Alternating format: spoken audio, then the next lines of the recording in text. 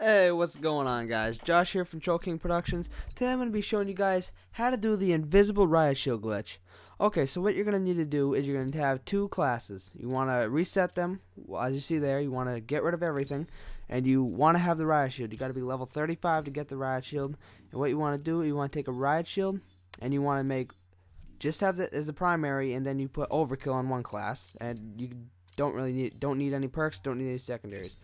And then you want to make another class. You want to clear that the same way. You want to put a riot shield again and overkill for the wild card. And pretty much the same identical thing. And um, I'll explain how this works and show you how it works in a quick little game in search. I don't really know why I picked search, but you know, whatever.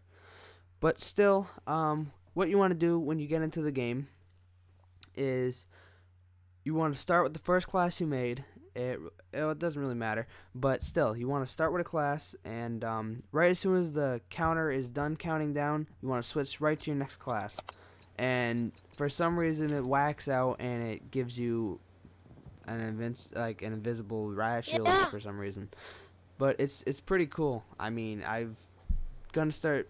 I'm gonna try to do a couple trolling videos on it in uh, Black Ops 2 and uh, I hope you guys enjoy it. I know I've seen a couple videos already with people that have um, that have done a couple of trolling videos with the invisible riot shield. It does look pretty fun. I'm not gonna lie, um, but we'll see how it goes. So anyway, uh, just hope you guys enjoy this video, and um, don't forget to comment, rate, subscribe, and yeah, that's pretty much it.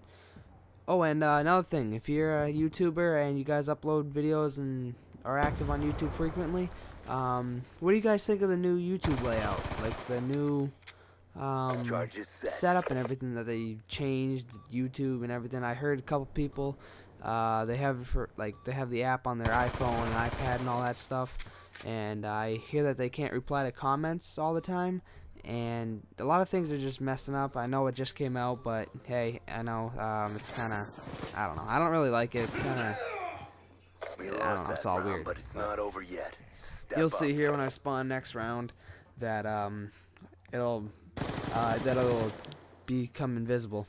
Um, I deliberately get killed to uh, show you guys. As you see right here, pick one class, then pick Search the other, and, and um, this is actually the first time I've ever done this, so I was didn't know if it worked or not. Protect the so, objectives. Um, I was a little hesitant, so I kind of just walked around. I, I was gonna actually sit back and spawn until someone came, but I'm like, no. So I kind of just walked into the building. So uh, yeah, that's pretty much it for this video. Um, you'll see here, um, I think I died right about in the um, in this building where that guy died right there. You'll see in the kill cam. Alright, as you see, ready. And that is how you do the invisible riot shield glitch. Alright, so hope you guys enjoyed. Thanks for watching. As I said before, and don't forget to comment, rate, subscribe. Peace out, guys. Changing.